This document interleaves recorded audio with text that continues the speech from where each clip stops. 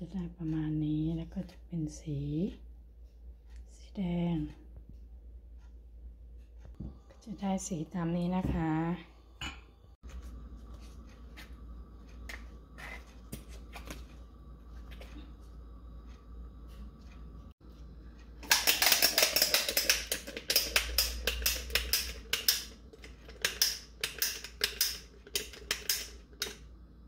นี่นะคะ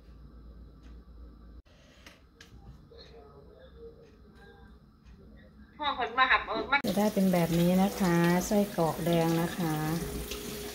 เราจะมามัดกันเด้อเสร็จแล้วจ้าไส้กรอกเราฮอตดอกเรานะคะฮอตดอกฮอตดอก ชอบแบบไหนก็มัดเอาแล้วเราก็จะมาต้ม จะมาต้มกันนะเอาลงไปต้มเลยนะคะบดเนื้อไม่ละเอียดก็จะประมาณนี้ฮอตดอกฮอตดอกฮอตดอก นะคะ ต้มแล้วนะคะ แล้วก็อันนี้มันออกมาเด้อ มันออกมาจากไส้ตรงนี้นี่หลายคนเนี่ยมาช่วยทำแบบนี้แต่ถ้าจะ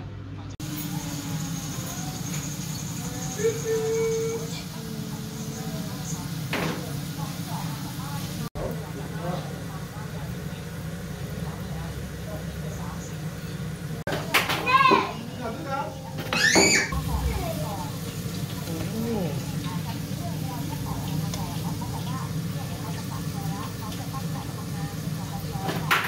ที่บ้านของคนตายอยู่ที่จังหวัดนครนายกนะคะคุณ ผู้ชมภรรไส้ยากรอกแดงแม่น้องภูมิเนี่ยเพิ่งจะคุยกับพี่ลิขิตทางโทรศัพท์เองแล้วปรากฏว่าช่วงเย็นโทรหาอีกรอบหนึ่งสามีไม่รับภรรยาคือคุณชนิดาโอ้โหน่ากินมากลูกเล็กด้วยอะค่ะสองคนคนโต13คนเล็กเพิ่งอายุ3ขวบเต็มเมื่อประมาณโอ้เนี่ย